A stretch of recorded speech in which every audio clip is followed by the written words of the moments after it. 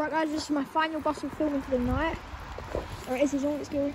It's a new E200 YX72 OKO.